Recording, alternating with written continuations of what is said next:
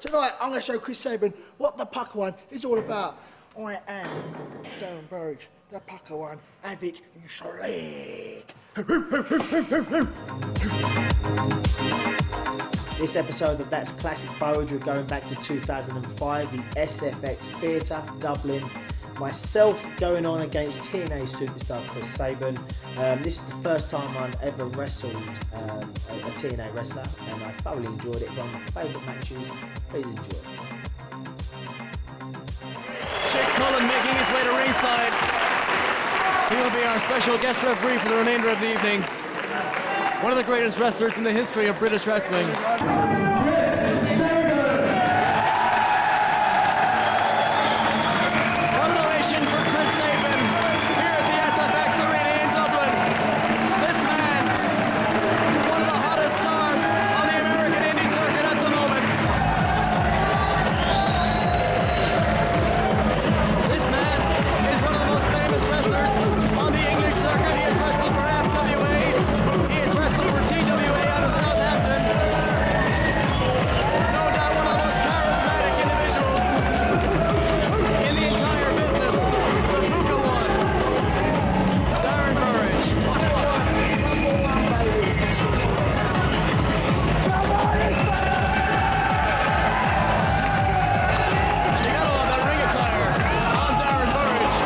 Mr. Burridge.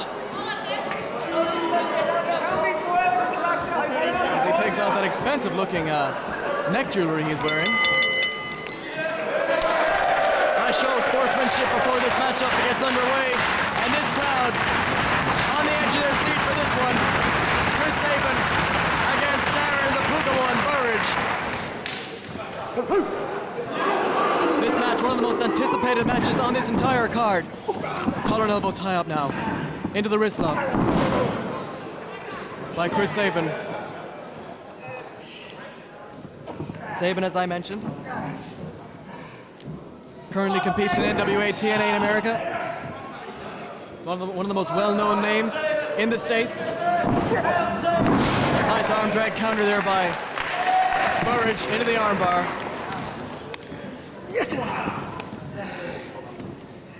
Sabin now gets back to his feet, attempts to roll through, and counters with the wrist lock. And this crowd, very knowledgeable and respectful of the talents of Chris Sabin.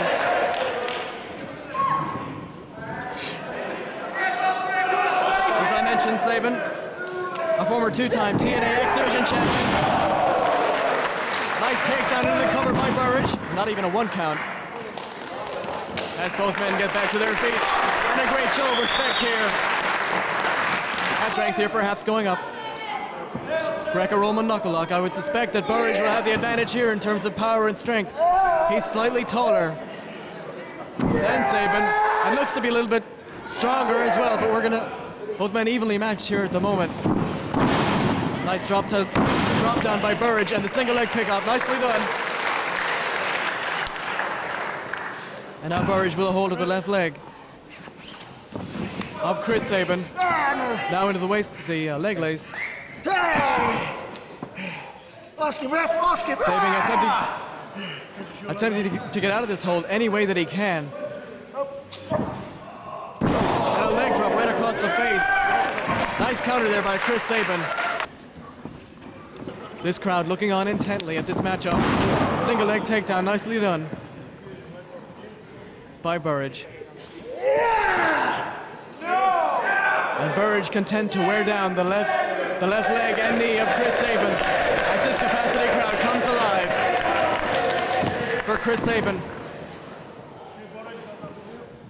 Nice cross arm breaker here applied by Chris Sabin, attempting to wear down the left arm and shoulder. Up Darren Burridge. Burridge attempts to counter and does, goes into the front face lock.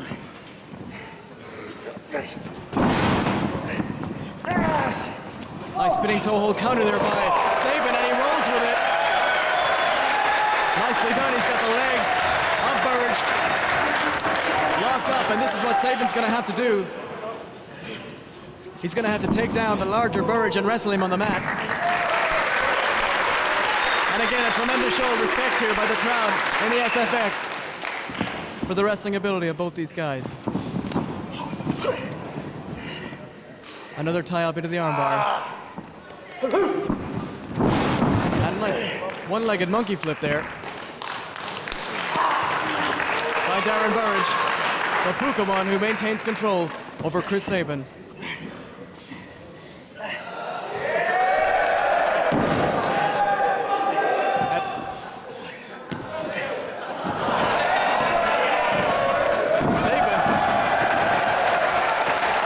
leaping all around there and eventually counters. Eventually counters Darren Burridge. Another collar elbow tie up into the side headlock, this time by Darren Burridge. Burridge certainly with with the power edge, as I mentioned, going to work with that headlock. Top wrist lock counter and into the headlock by Chris Sabin. And a recounter there by a recounter by Darren Burridge No wedgies, no into the headlock of his own. And as I said, he's got the pipes to really go to work with that headlock as we see him grind it in there on Chris Sabin. Sabin certainly feeling the effects of that, and a lot of people don't actually realize how painful a hold that can be, the side headlock. The most elementary move perhaps in wrestling, but one of the most devastating. A snapmare takeover by Burridge, and now into the reverse chinlock. And this is bringing double advantage for Burridge.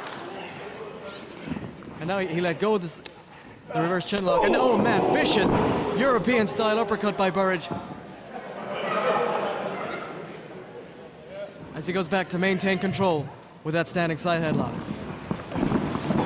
Burridge now off the rope, shoulder block. Taking down Sabin. And a nice Oklahoma roll into a reverse sunset roll up. Two count only, beautiful wrestling move by Dara, the Pukka one, Burridge.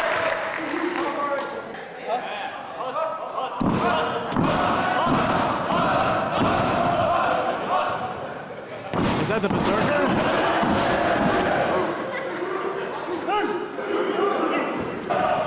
Burridge, nice arm drag, deep arm drag takedown by Chris Sabin. Double leg pickup by Burridge. Counter into the roll up by Sabin, beautifully executed, but two count only. Burridge now in control, trying to get Sabin up, and he dumps him into the roll up, but Sabin counters with the head scissors, beautifully executed, and Burridge finds himself on the floor here in the SFX in Dublin. Two away in the blink of an eye. Another test of strength here by both guys. Wrist lock. By Sabin, Irish whip. Beautiful modified hip lock takeover. Burridge hooks the leg and gets a two count. That was a beautiful offensive maneuver. Modified hip lock takeover by Darren Burridge on that last exchange. And again, another vicious forearm European uppercut right to the face of Sabin. You could feel the impact of that one. Front face lock by Burridge. Into the vertical suplex, nicely done. Another lateral press by Burridge. He hooks the leg this time and gets a two count. Sabin, one of the toughest individuals in the entire sport. He's not going to go down. He's not going to go down too quickly. He's not going to go down that easily. Double reverse chinlock now applied by Burridge. Just crowd comes alive for Chris Sabin, who's back to his feet. Rams a series of elbows to the midsection. Off the ropes, sunset flip coming up perhaps. Can Sabin get the powerful Burridge over? It doesn't look like he can. Burridge countering with a nice top wrist lock. There checking Chris Sabin to see if he wants to submit, but I don't think that word is in the vocabulary of Chris Sabin. Sabin now attempting to counter. And springs out of it and a beautiful base, baseball drop kick right to the face of Darren Burridge. What a shot that was. Four. And now both men down on the canvas and the referee must exercise his 10 count. Sabin quickly getting back to his vertical base. The Irish whip is reversed to the center of the ropes and a vicious clothesline by Dara the Pukka one Burridge.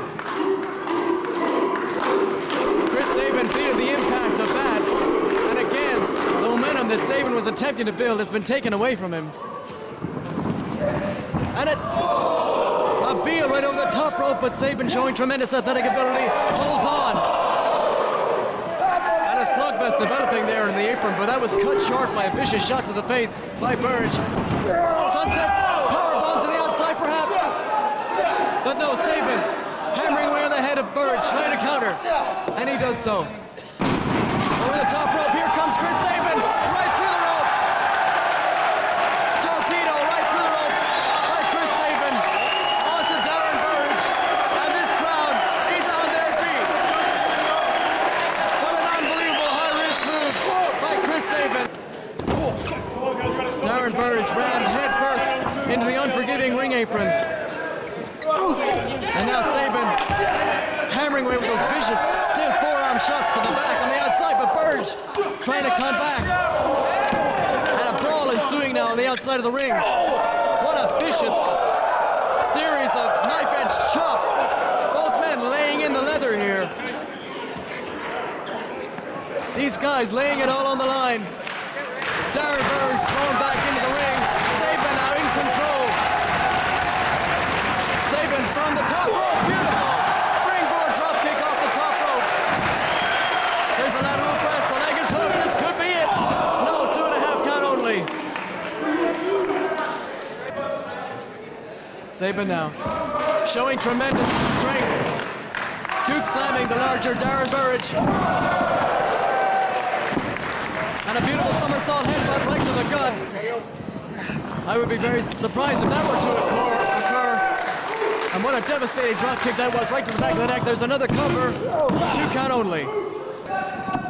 Irish whip into the corner by Sabin. And a clothesline in the corner. Sabin. Beautiful butterfly suplex, nicely executed. There's another cover. And to his feet gallantly. And Burridge likewise. Both men now moving in. A slugfest developing, and I would suggest that Burge would have the advantage here. But it's Sabin who's coming back.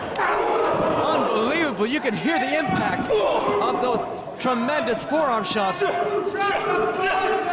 And it's Sabin who's getting the better of it. Off the ropes he comes. Burge now taking Sabin down to the canvas to work on the left arm and shoulder of Chris Sabin in the hammerlock. Nice roll through by, by Darren Burge. And he's got Chris Sabin tied up like a pretzel. Look at how the leg is crimped behind the neck. No. No. Burridge also with a hold of the left, the, right, the left arm of Chris Sabin. What a devastating submission hold this is, and I wouldn't be surprised if Chris Sabin were to submit here. Sabin trying to counter this. And Burridge releasing the hold. And another vicious forearm shot, and you can see the contact being made there. I wouldn't be surprised if Sabin has a few loose teeth after this match. A trip to the dentist may be in order, and a questionable boot to the midsection there by Burridge. Inverted atomic drop. Enziguri by Chris Sabin. Hooks the leg. Oh, two and a half count only, almost a three count. That's about as close as you can come without a three count right there. Chris Sabin signaling for the end here. Up goes Darren Burridge. Burridge counters with a sunset flip. And a drop toe hold, nicely done. By Darren Burridge. And a German suplex into a bridge two. No, two count only. Now back into the corner. Irish whip to the far side. Oh my goodness, a spinning heel kick to the gut out of the corner by Sabin. Burridge does the right hand. Nonetheless, tornado DDT. Burridge was just spiked on the canvas. There's the cover, and no! Burridge, to his credit, kicks out. The Pukka one showing tremendous toughness.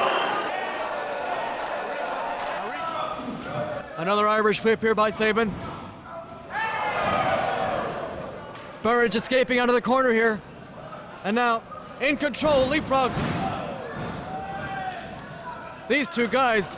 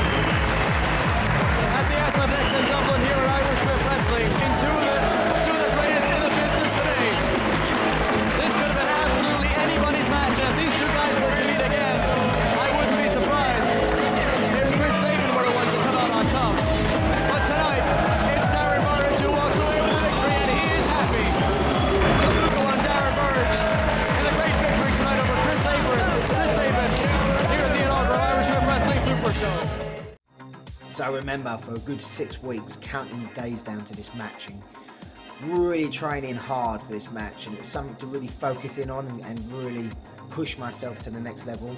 Um, it was the first time that I'd ever wrestled a TNA wrestler, and it was a big it was a big thing back in 2005.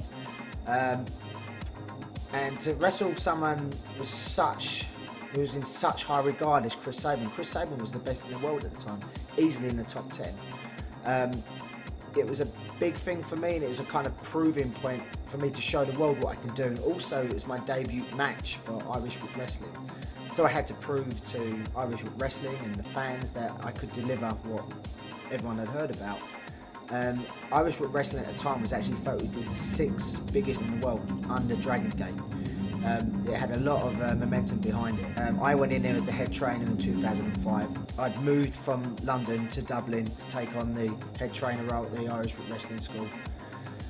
And it was it was the first time that I had to prove to the guys that I could deliver. So if I failed, I I had a bad match, you know, it was, it was a lot of pressure on me to, to go out there and do it. I might have lost my job, I might have been sent home back to London. So it meant a lot for me to go out there and show these guys that I can hold it with some of the best in the world. That show was probably one of the biggest shows that Ireland's ever done. It had so many great names on it. You had Sheamus going up against Charlie Rage, you had AJ Styles, Christopher Daniels, you had uh, M-Dogg 20, uh, Johnny Storm, uh, Jody Fleisch, uh, a lot of great top level names at the time were on that card.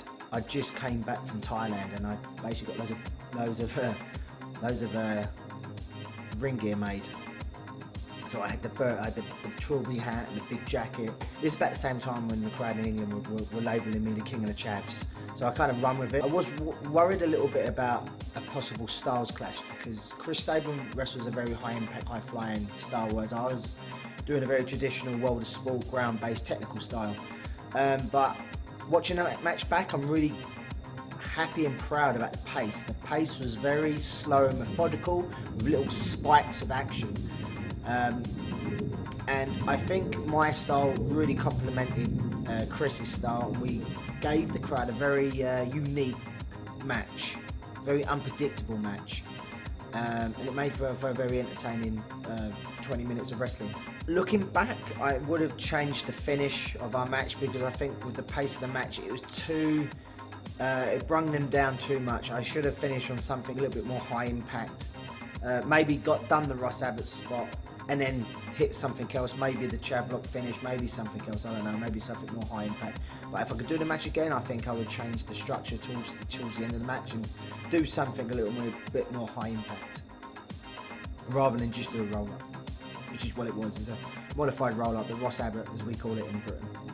One of my trademark things at the time was to go with the crowd, um, and one of the crowd started chanting it, and Chris Sabin thought they were chanting for Jimmy Jacobs, who did a huss huss kind of thing. So you see at one point in the ring, he questions, you know, the, the hoo hoo. He does the husk husk. And uh, I just thought it was perfect timing to give him the hoo hoo and the, and the chav shuffle, as I called it. I really wanted to do a power bomb spot. I kept thinking and visualising me vaulting over the top ropes and hitting this power bomb.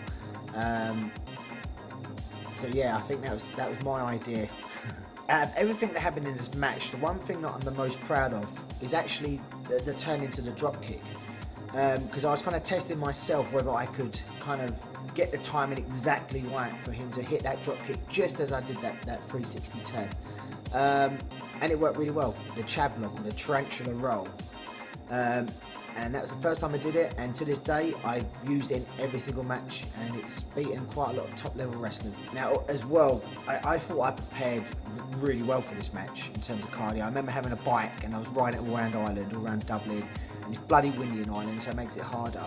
Um, and I thought my cardio was on point. And you'll see right towards the end of the match, he, he's, I send him into the corner and I follow him, and he hits me with, with, with the kick into the like the mule kick into the stomach.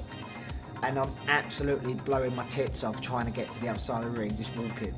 Um, yeah, so I thought my cardio was good. My cardio was absolutely shit. Um, it was a big thing for me to win that match. Like I said, it was the first time I'd ever wrestled a, a top level independent wrestler or top level TNA wrestler. So I did feel a lot of pressure, and also the crowd. I mean, they had every right to boo me. In fact, that they never knew who I. Never, they don't know who I am. I mean, I wasn't on uh, TNA television. I was on the wrestling channel now and then, um, but I was just a fairly unknown name. Pretty much, people only read about me from the internet. But um, I was really happy with the reception I got, being it's my debut in, in another country as well. It was a big thing for me to pick up the, the win against Chris, um, and was one of my favourite matches that I've had. To be fair, on a, on a personal note, this this match has a lot of sentimental value for me because when I first started wrestling, I remember we did a match for Brian Dixon at, uh, at, uh, at Red Red Hill, Surrey, and it was myself, uh, Sticks, Ross Jordan, but basically we had a tag match, and uh, we stunk the place up. And I remember Jake the Snake Roberts was there backstage watching us, and Dean Allmark was wrestling Dean Allmark, and uh, we got chewed out by Dean for, for being crap, basically, you know, in our like second ever match we've ever had.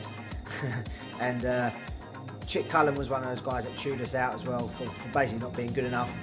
And um, I made it my personal mission, if it was to my last thing I ever did, prove to Chick Cullen that I could wrestle.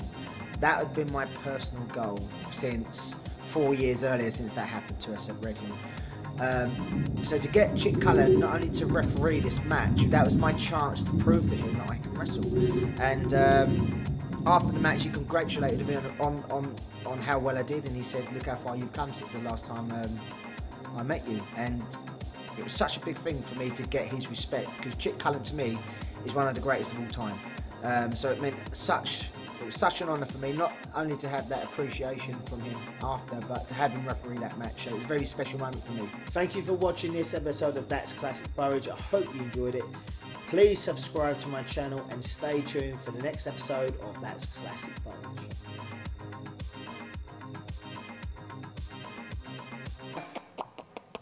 Darren Burridge.